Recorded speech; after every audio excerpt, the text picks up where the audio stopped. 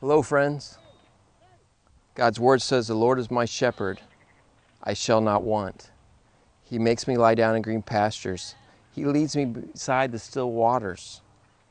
He restores my soul. He leads me in paths of righteousness for his name's sake.